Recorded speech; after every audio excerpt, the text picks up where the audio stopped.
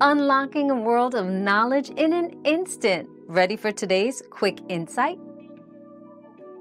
The proper way to say thank you varies depending on the situation and cultural context. For everyday instances, a simple thank you with a smile is sufficient. In more formal situations or when expressing deep gratitude, elaborating on why you're thankful or including phrases like, I really appreciate it, can add heartfelt sincerity to your thanks. Personalizing your gratitude makes it more impactful. Our quest for knowledge never ends. Thanks for being part of today's discovery. Subscribe, like, and share to join us on the next one.